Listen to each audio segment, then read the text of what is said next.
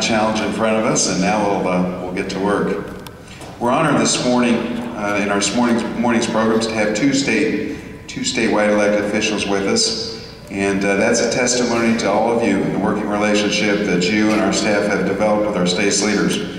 And the first of those officials is uh, State Auditor Tom Schweich. State Auditor Schweich graduated from Yale, from Harvard Law School, and began his professional career at the law firm of Bryan Cave, where he practiced law for over 20 years.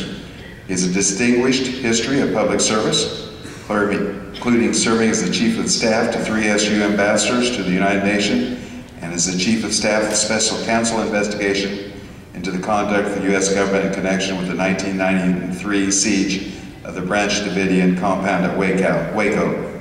From 2007 to 2008, Schweich served as the U.S. Coordinator for Counter-Narcotics and Justice Reform in Afghanistan and was accorded the personal rank of Ambassador by President Bush. Please help me in welcoming State Auditor Tom Schweich.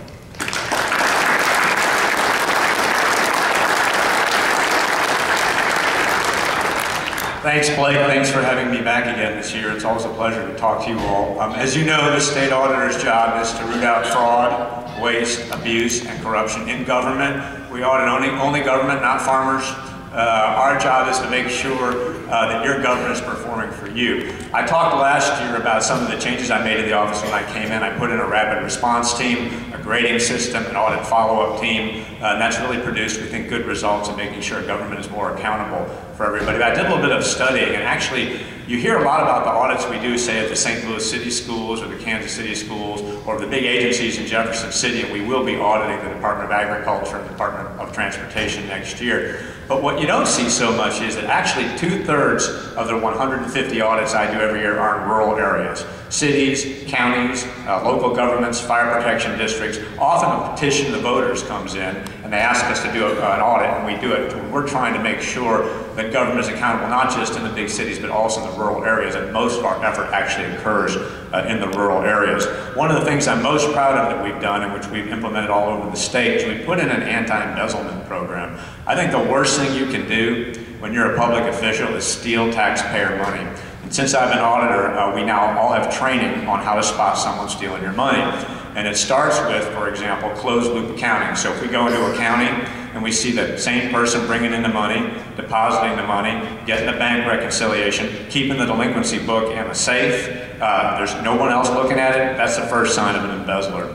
Second sign of an embezzler, embezzlers never take a vacation. So we always look for leave records because they don't want anybody else to look at the books. So we look at leave records. Third sign of an embezzler, they always give expensive gifts to their coworkers. They feel guilty about stealing your money, so they give out a lot of gifts or give very, very large donations to charity. They live beyond their means. By the time you get to number five or six on the list, you have an embezzler. And since I've been state auditor, we've now found 27 public officials around the state stealing your money, two-thirds of those in rural areas of Missouri. And those people are either going to jail or they're on their way to jail. The most strident example we found was up in northern Missouri in a rural area. Uh, a public official there stole $568,000. The vast majority of that money was from farmers and people in the farming business. Uh, $568,000. And when we caught this, what the person did was they would take the money, often uh, property tax that you all were paying, and then the, the, the collector would deposit uh, the money in her own personal account, and then she'd mark the farmer as delinquent on their taxes, and then keep the tax delinquency book in a safe so y'all didn't know you were marked delinquent on your taxes. So when we came in to audit the books, everything balanced because for every situation where we didn't have the money, there was a delinquency marked in the book. But what we knew was in a typical rural county, the delinquency rate is less than 10%. And in that particular county, it was almost 30%. So we knew, okay, something was wrong, and it turned out that that person had stolen $568,000 of money, mostly from farmers. When we confronted her with the fact that she just stolen over half a million dollars of your money, the, the, the, response we got was very typical of embezzlers. They have a total sense of entitlement. She said, can we keep this quiet so I can get another job? Literally, that's what happened. And we said, you're going to have another job. It's making license plates, and she's doing 33 months in the federal penitentiary right now. So that's what we try to do for you, is make sure your government is acting more accountable for you across the state of Missouri and will continue to do so.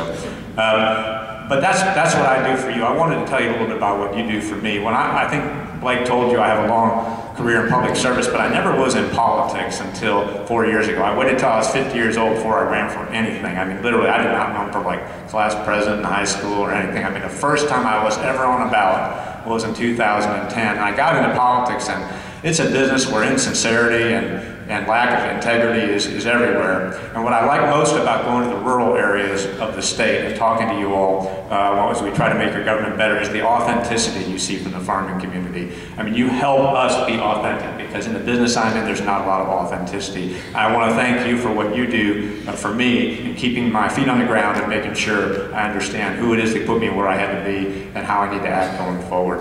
Um, this all reminds me of a story I heard. You may have heard this story before about the. You heard this about the ten politicians driving around rural Missouri in a bus. They're driving around and they're driving by a farm and they crash into a, a tree, and it's a very, very, very bad scene. Uh, and the farmer comes out and he looks at the bad scene and says, "Well, I think even they deserve a right, proper burial." And he digs 10 holes and puts the dirt on top and puts the flowers on top and says a prayer and goes and he has dinner with his wife.